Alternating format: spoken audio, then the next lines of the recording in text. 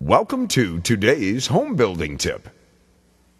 We get lots of letters with questions. Our first one today is Can metal roofing be damaged by hail?